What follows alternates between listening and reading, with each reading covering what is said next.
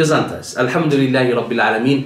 Wir fahren heute fort, liebe Geschwister, mit unserer wunderschönen Unterrichtsreihe, die wir seit neuestem begonnen haben. Und heute ist eigentlich der erste richtige Unterricht. Also an diejenigen, die bis jetzt noch nicht mitgeschaltet waren, ihr habt noch nichts verpasst. Alhamdulillah Rabbil Alamin. Wir werden inshallah ta'ala über Al-Adab al-Islamiyya sprechen, über das islamische Benehmen. Und das Buch, welches wir behandeln werden, ist im Großen und Ganzen, ich sage immer im Großen und Ganzen, es gibt kein Buch, was vollkommen ist. Deswegen muss man manchmal durch andere Bücher etwas ergänzen, was nicht bedeutet, dass das Buch schlecht ist. Aber wie gesagt, es gibt kein Buch, was vollständig ist, außer dem Koran. Al-Karim, möge Allah subhanahu wa ta'ala unsere Herzen an den Koran hängen. Allahumma amin. Und äh, dieses Buch ist von einem ägyptischen Gelehrten, ein edlen Gelehrten, möge Allah subhanahu wa ta'ala ihn reichlich belohnen. Er hat das in Kapitel untergliedert, dieses Buch. Und heute, inshallah ta'ala, fangen wir an mit dem, womit ein Diener Allahs beginnt, mit dem Aufstehen. Das heißt, das Benehmen beim Aufstehen. Das Benehmen beim Aufstehen. Und zu der Methodik, liebe Geschwister, von äh, dieser Unterrichtsreihe wir werden inshallah ta'ala uns nur auf die authentischen Ahadith stützen. So heißt auch das Buch Sahih al-Adab al-Islamiyya, weil der Autor sich nur auf die Sahih Hadithe gestützt hat.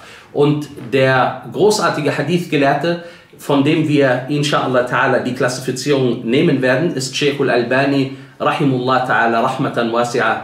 Ein jeder von der Sunna liebt ihn und ein jeder der die Sunna hasst, hasst ihn. Möge Allah subhanahu wa ta'ala diese Leute recht leiten, die ihn hassen, wenn sie wüssten, dass er ihnen die Türen zur Sunna geöffnet hat und kein anderer Gelehrter hat die sechs Bücher klassifiziert als Sheikh al-Albani, rahimullah ta'ala, ein anerkannter Gelehrter. Und da braucht man nicht die Aussagen von einigen Nichtsnutzen, die der Umma nur schaden und keinen Nutzen bringen. Deswegen, liebe Geschwister, wann ihr auch immer seht, dass über Sheikh al-Albani schlecht geredet wird, das ist so. Das gab es damals schon, dass über die, schlecht, über die Gelehrten schlecht geredet wurde, wurde. Und bis zu dieser heutigen Zeit wird es das immer geben. Aber Alhamdulillah, der Name von Sheikh al-Albani wird erwähnt, aber der Name von diesen Nichtsnutzen, die über ihn schlecht sprechen, keiner erwähnt diese Name. Möge Allah subhanahu wa ta'ala uns bewahren und uns auf einen geraden Weg befestigen. Ich habe im Übrigen schon darüber gesprochen, warum die Überlieferungen von Sheikh al-Albani vertrauenswürdig sind. Wer dieses inshallah ta'ala nachhören möchte, der kann bei YouTube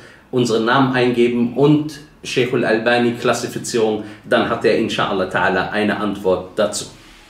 Wir begrüßen euch und möchten mit euch inshallah ta'ala diese wunderschöne Unterrichtsreihe durchführen und diese Unterrichtsreihe braucht etwas Geduld von uns, aber ich möchte, dass ihr mir eine Sache versprecht, liebe Geschwister, weil es hier um die Ahadith geht vom Propheten Muhammad sallallahu alaihi wasallam.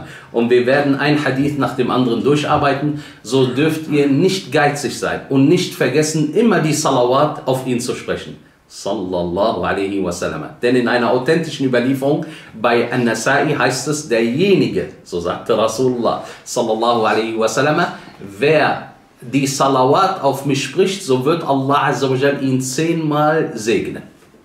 So wird Allah ihn zehnmal segnen. Ist das alles? Höre zu. Und Allah subhanahu wa ta'ala wird ihn zehn Sünden löschen. Für einmal Salawat sprechen. Was denkst du, wenn du die zehnmal sprichst bei jeder Sitzung? Und ich verspreche euch, es sind mehr als zehnmal. Also werden uns heute, inshallah ta'ala, hunderte von Sünden gelöscht werden. Und nicht nur das, und am Ende sagte Rasulullah sallallahu alaihi wasallam, und ihm werden zehn Paradiesstufen angerechnet. Er wird um zehn Paradiesstufen erhöht. Was will man mehr? Und dieses alles nur wegen unserem Liebling Muhammad sallallahu alaihi wa ala alihi wa sahbihi wa sallam. Wir werden inshallah ta'ala uns die Zeit nehmen bei diesen Ahadith und ich versuche sie so gut wie möglich wiederzugeben. Aber Abul Bara ist leider sehr faul, das solltet ihr wissen. Ich gehöre leider nicht zu der Sorte von Menschen, die alles äh, äh, direkt übersetzen und äh, das in Schriftform und so weiter und so fort, weil mir leider die Zeit dazu fehlt. Deswegen versuchen wir uns mit dem zu begnügen, was da ist, ta'ala, aber wir werden das hinbekommen, inshallah ta'ala. Manchmal treffe ich nicht immer das richtige Wort, weil wie gesagt, ich setze mich nicht vorher hin und übersetze die Hadithe, sondern vielmehr äh, mache ich das alles aus dem Kopf. Und ich versuche auch, das sage ich auch von vornherein, äh, wenn jemand jetzt äh, äh, mich dabei ertappt, dass ich ein Wort nicht wortwörtlich übersetzt habe, dann hat das einen Grund, weil manchmal der Tafsir etwas anderes hergibt als die wortwörtliche Übersetzung als die wortwörtliche Übersetzung. Weil wenn man das mit Erklärung übersetzt, dann ist das für den Zuhörer verständlich. Wenn man das aber leider wortwörtlich übersetzt, wie das oft gemacht wird, dann versteht der Leser gar nichts. Möge Allah uns Verständnis geben. Das Benehmen beim Aufstehen. Und zwar Zikrullah. Das Gedenken Allahs beim Aufstehen. So heißt es in einer Überlieferung, für Sahihain. Und Sahihain, wenn wir über Sahihain sprechen, liebe Geschwister, dann sind das die zwei authentischsten Bücher nach dem Koran al-Karim. Du weißt, welche sie sind? Einmal Sahih al-Bukhari und dann das Werk von seinem Schüler Sahih Muslim. Das sind die authentischsten Werke. Und die Umma, das heißt die muslimischen Gelehrten, ist hier mit Umma gemeint, sie befinden alle darin überein Sie stimmen alle darin überein, dass diese authentischsten Werke nach dem Koran, dass sie komplett sahih sind. Walhamdulillahi Rabbil Alamin. Natürlich gab es einige Anmerkungen von einigen Hadith-Gelehrten, darauf wollen wir nicht eingehen, aber im Allgemeinen sind sie beide sahih, das heißt beide authentisch. Sahih al-Bukhari und Sahih Muslim. So heißt es für Sahihain an Hudayfa radiyallahu anhu arda, Hudayfa radiyallahu anhu. Er berichtete, كان رسول الله صلى الله عليه وسلم إذا أخذ مضجعه من الليل وضع يده تحت خده. بليفة حذيفة رضي الله عنه فند جزنت صلى الله عليه وسلم. إن نخت شليف ودا زيش zum Schlafen hingelegt hat so hat er seine Hand unter seiner Wange getan in der Position. So hat er seine Hand unter seiner Wange getan. Thumma yaqul. Daraufhin sagte er, Allahumma bismika amutu wa ahya. O Allah, in deinem Namen sterbe ich und lebe ich. In deinem Namen sterbe ich und lebe ich. Und ich möchte kurz voraus etwas sagen, liebe Geschwister, wir werden uns die gesamte Zeit mit Tawhid beschäftigen. Denn das ist das Schönste für einen Muslim, dass er weiß, wie seine Beziehung zu seinem Herrn ist, subhanahu wa ta'ala. Viele Leute fragen uns, wie kann man ein Muchlis werden, einer, der Aufrichtigkeit hat. So sagen wir ihm, indem du diese Afkar, diese Gedenksprüche sagst. Du bist hier unter dem Schatten Allahs Azza wa Jal. Allah sieht dich, Allah hört dich und so verbesserst du deine Beziehung, wenn du die gesamte Zeit die Afkar gegenüber Allah sagst und du bekundest damit, dass du ein armer, schwacher, hilfloser Diener bist, der Allah subhanahu wa ta'ala braucht. Er sagte im Schlaf, während er sallallahu alaihi wasallam äh, dabei war zu schlafen, er sagte, O Allah, in deinem Namen sterbe ich und lebe ich. Und jetzt kommt der entscheidende Teil, weil wir wollen nicht über äh, heute das Benehmen beim Schlafen, darüber werden wir auch noch reden. وَإِذَا اسْتَيْقَظَ weil das ist derselbe Hadith, wenn er aufgestanden ist, قال, so sagte er, Alhamdulillahi alladhi ahyana ba'dama amatana wa ilayhi an-nushur. Alles Lob gebührt Allah, der uns zum Leben erweckt hat nachdem er uns vorher sterben ließ. Und zu ihm ist die Rückkehr. Subhanahu wa ta'ala. Das heißt, wir werden, und hier sehen wir das in dem Hadith ganz klar, wir werden zu Allah subhanahu wa ta'ala zurückkehren. Und Allah subhanahu wa ta'ala hat uns die besten Gedenksprüche durch die Zunge des Propheten Muhammad sallallahu alaihi wasallam beigebracht. Höre, alles Lob gebührt Allah, der uns sterben gelassen hat, äh, der uns lebendig gemacht hat, nachdem er uns sterben gelassen hat und zu ihm ist äh, die Versammlung. Das ist der Hadith, den wir brauchen, liebe Geschwister. Und At-Tirmidhi rahimullah ta'ala, er fügte noch etwas hinzu. وَإِذَا اسْتَيْقَظَ فَلْيَقُلْ الْحَمْدُ لِلَّهِ الَّذِي عَفَانِي فِي جَسَدِي Alles Lob gebührt Allah, der mich in meinem Körper gesund gelassen hat.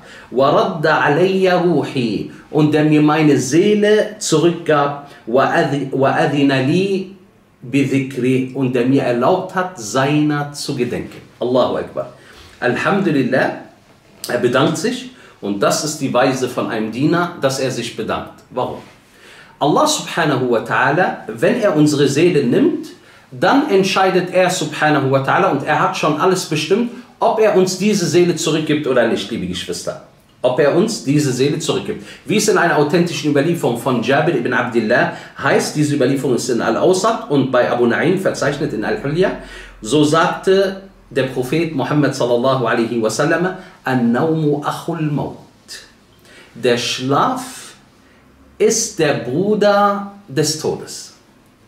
Der Schlaf ist der Bruder des Todes. Und die Paradiesbewohner, sie schlafen nicht. Weil es im Paradies nur ein einziges Ziel für die Paradiesbewohner gibt, dass sie sich amüsieren und genießen. Sie haben keine Zeit zum Schlafen. Deswegen dieser Hadith, er beweist uns klar, dass der Schlaf der Bruder vom Tod ist. Wenn wir schlafen, so hat Allah Azza wa Jal unsere Seele genommen. Subhanallah.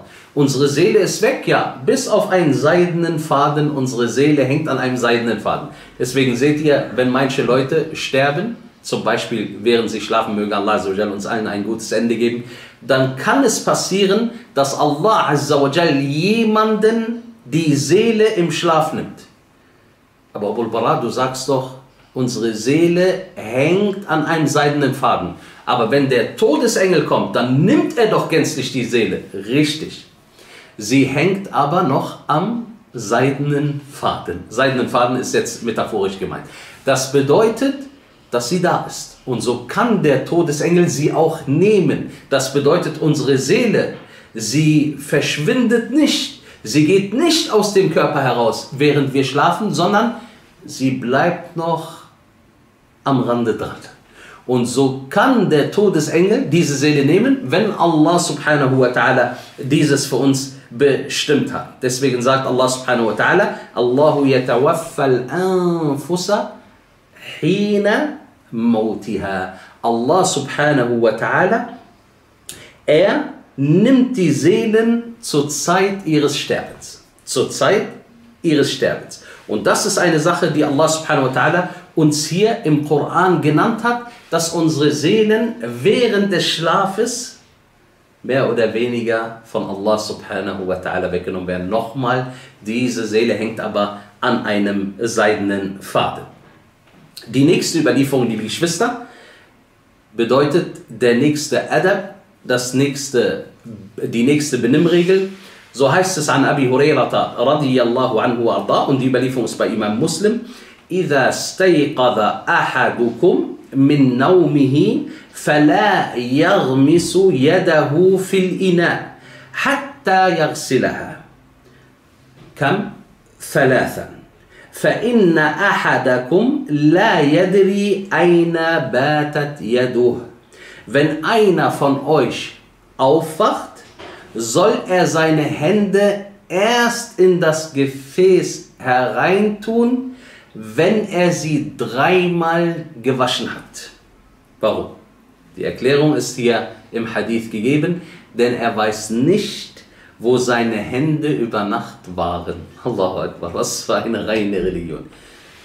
Was meint dieser Hadith Abu Bakr? Stell dir vor, einer schläft und er kratzt sich und meistens kratzt man sich mit den Fingernägeln. Stellt euch vor, man hat irgendeine Hautkrankheit, man hat irgendeinen Schmutz am Körper oder sonstiges. Wenn man das kratzt, dann natürlich verbleibt der Schmutz unter den Fingernägeln und ist auch auf den Fingern drauf. Wenn du dann am Morgen aufstehst, du weißt nicht, wo deine Hand übernachtet hat. Es kann sein, dass man unreine Stellen angefasst hat, wie auch immer. Du weißt es nicht. Insofern, wenn du morgens aufstehst, dann gehörst du nicht zu denjenigen, die gleich in die Dattelschale reinfassen und essen, sondern du wäschst erstmal dreimal deine Hände. Das ist die Sunna von unserem geliebten Propheten Muhammad sallallahu alaihi wa ala alihi wa sahbihi wa sallama. Wenn man aufsteht, wäscht man seine Hände dreimal. Diese Dinge sind alles Sunna. Und die Gelehrten, beziehungsweise die meisten Gelehrten, stimmen darin überein, dass diese gesamten Benimmregeln beliebt sind, nicht Pflicht. Aber liebe Geschwister, wozu hat Allah diesen großartigen Gesandten entsandt? Damit wir ihn nachmachen.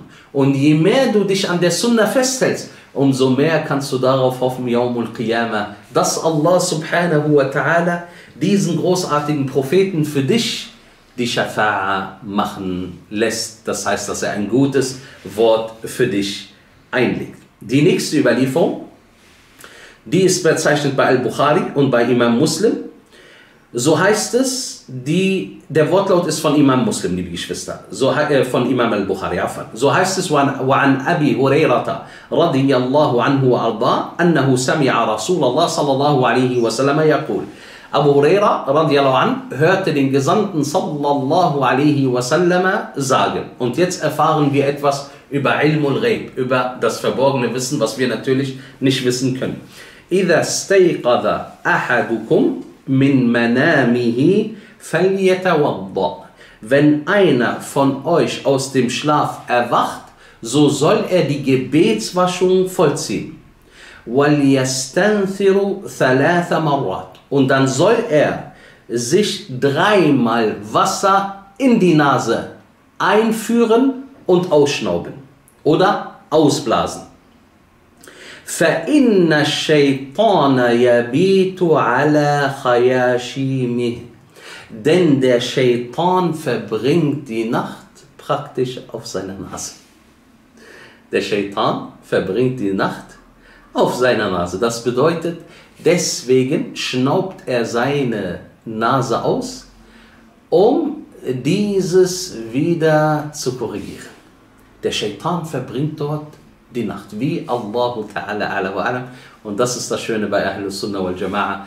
Wenn sie einen Beweistext haben, dann unterwirft sich der Verstand. Es gibt Leute, die leider die Aqidah von Ahlus Sunnah wal Jama'a nicht kennengelernt haben, Sie sagen dir, aber wie soll das gehen? Mach dir keine Sorgen. Mach dir keine Sorgen. Allah ist in der Lage, alles zu machen. Das Verwunderliche ist, wir sehen im Universum diese ganzen Wunder. Ja, wie soll das gehen, dass ein Mond sich von alleine bewegt? Wie soll das gehen, dass die Sonne sich von alleine bewegt? Du redest über Shaitan und eine Nase und hast etwas ganz Größeres vergessen. Wer bewegt das ganze Universum? Hast du darüber einmal nachgedacht? Aber Shaitan ist immer derjenige, mit dem man sich gerne beschäftigt und man verliert wirklich auch durch Shaitan den Blick vor, man verliert auch durch Shaitan die, das Wunder, was man vor seinen eigenen Augen sieht. Daher, das wurde uns überliefert, dass der Shaitan auf der Nase übernachtet, liebe Geschwister. Eine nächste Überlieferung, so heißt es, und das ist eine weitere Benimmregel, an Hudayfa radiyallahu anhu arda, und die Überlieferung ist bei Al-Bukhari und bei Imam Muslim, anna Rasulullah sallallahu alaihi wasallam kana إذا قام من الليل يشوص فاه بالسواك wenn der Gesandte sallallahu alaihi wasallam, so berichtet Hudayfa radiallahu anh, aufstand, das heißt in der Nacht aufstand, so benutzte er den Siwak indem er sich seinen Mund damit reinigte. So benutzte er den Siwak, indem er seinen Mund damit reinigte. Subhanallah, diese Reinheit der Religion. Liebe Geschwister, ein Muslim kümmert sich um die Sauberkeit. Und ein Muslim kümmert sich auch darum, dass er unter den Menschen nicht unangenehm riecht. Und daher sollte man versuchen, diese Reinheit, diese äußerliche Reinheit natürlich genauso zu bewahren wie die innere Reinheit. Die innere Reinheit ist natürlich noch ein Ticken wichtiger, aber auch die äußere Reinheit sollte zur Geltung kommen bei einem Muslim, dass wir sehen, ein Muslim ist schön. Ein Muslim ist gepflegt. Ein Muslim er liebt auch die Schönheit. Und diese Schönheit macht den Muslim auch noch schöner. Alhamdulillah Rabbil Alamin. Daher, der Prophet was hat er gemacht? In der Nacht hat er den Siwak benutzt. Im Übrigen schon bevor er schlafen gegangen ist. Wenn du auch deinen Mund ausspülst, mit Zahnpasta äh, äh, durchspülst, wenn du deine Zähne putzt, das ist alles schön vor dem Schlafengehen. Aber auch als er aufgestanden ist, hat er das gemacht. Warum? Damit er den Geruch des Mundes ändert. Damit er den Geruch des Mundes ändert. Abul Bara, ich habe nicht immer ein Siwak dabei. Ich mache das mit der Zahnbürste. Hauptsache du riechst gut. Hauptsache du riechst gut. So war der Gesandte sallallahu alaihi wasallam, dass er das gemacht hat. Und höre diese wunderschöne Überlieferung bei An-Nasai. Der Prophet sallallahu alaihi wasallam sagte, über den Siwak Matharatun lil wa Mardatun lil. Der Siwak ist eine Reinigung für den Mund und stellt seinen Herrn Allah zufrieden. Allahu Akbar. Du machst Allah zufrieden, indem du den Siwak benutzt oder etwas, was deine Zähne säubert? Richtig. Du machst Allah Azza wa Jal damit zufrieden. Und hier siehst du, mit wie wenig man Allah subhanahu wa ta'ala zufrieden macht. Allah subhanahu wa ta'ala, der Herr aller Welten, du kannst ihn mit so einer Handlung zufrieden machen. Subhanahu wa ta'ala. Daher versuche deine Zähne, deinen Mund zu säubern, auf dass du auch angenehm riechst. Und dann, liebe Geschwister, haben wir eine weitere Benimmregel. Und zwar ist die Überlieferung bei Al-Bukhari.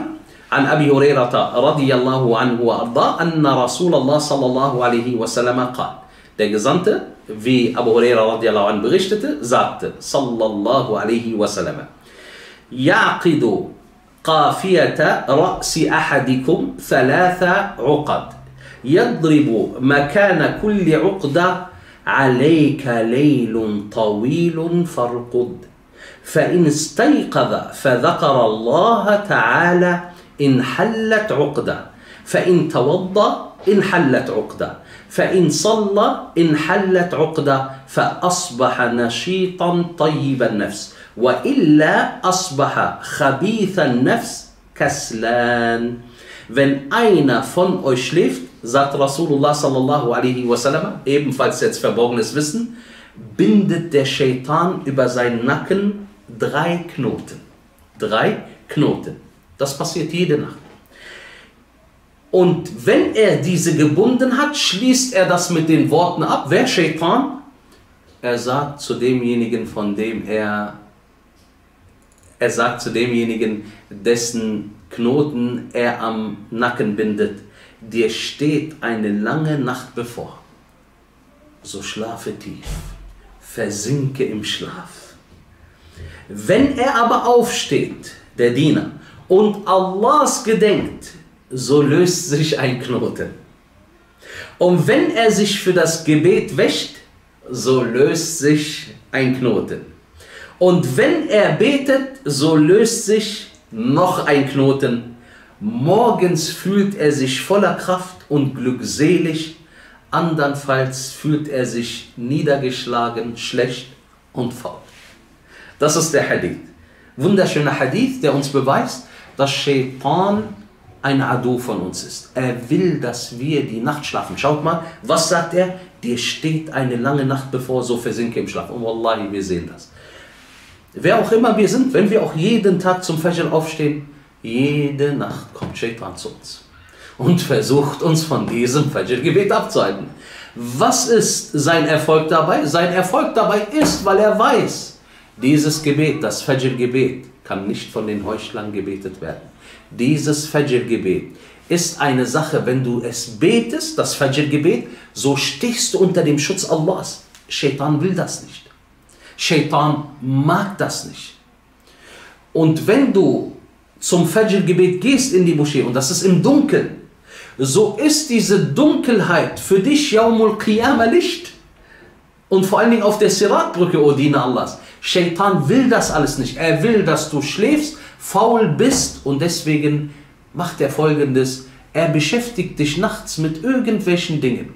Nur damit du dein Gebet verschläfst. Subhanallah. Manchmal sogar auch mit der Religion. Du liest zum Beispiel, wie hießen die Frauen des Propheten Muhammad sallallahu alaihi wasallam. Schönes Thema, aber Shaitan hat was anderes vor. Er will dich lange, lange lesen lassen, bis ungefähr um 2 Uhr.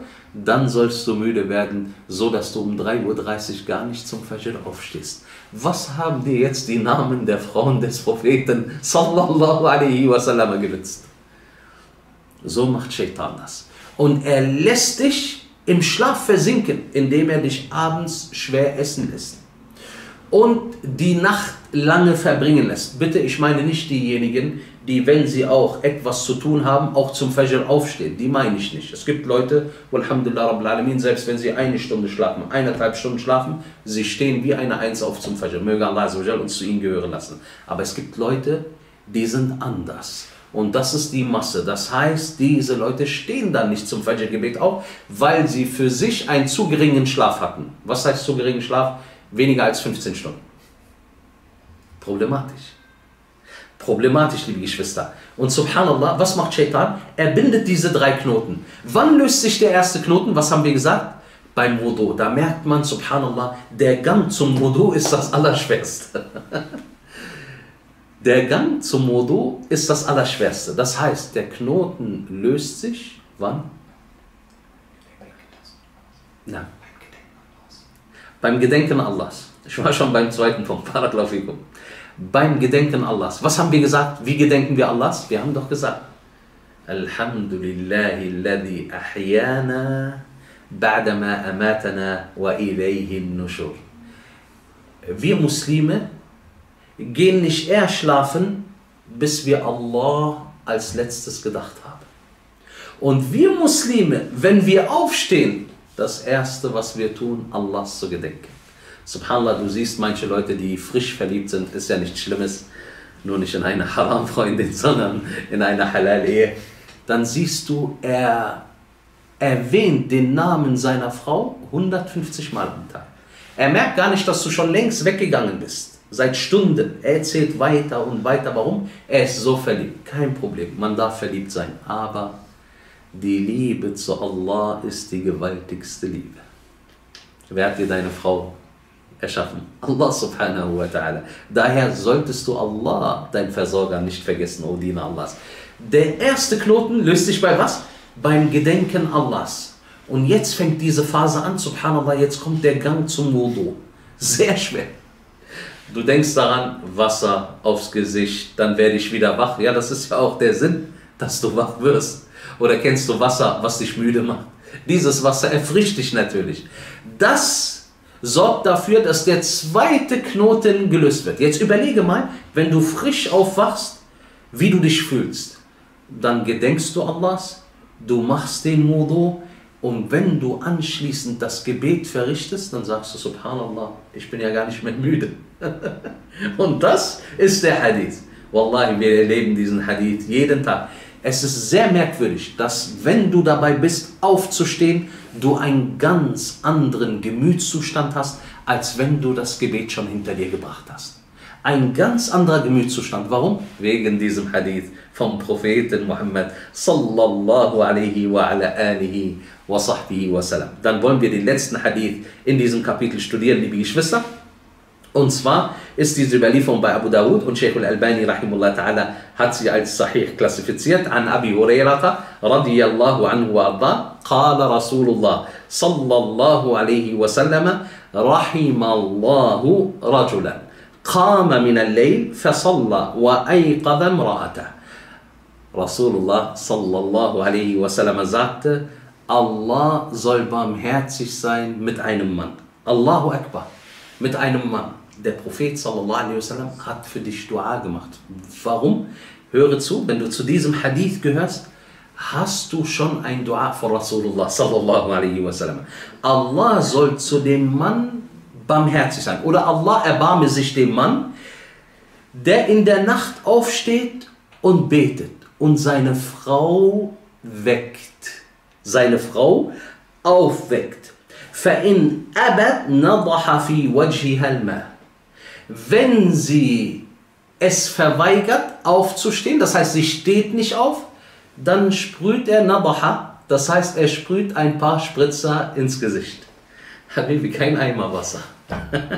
Weil damit kannst du ihr schaden. Stell dir vor, sie verschluckt sich durch das Wasser und stirbt. Ich weiß, manche Männer hätten nichts dagegen, aber das ist nicht das, was hier mit der Sunna gemeint ist, sondern manche Gelehrte sagen, schaut mal, man befeuchtet seine Hand und streicht über das Gesicht der Frau.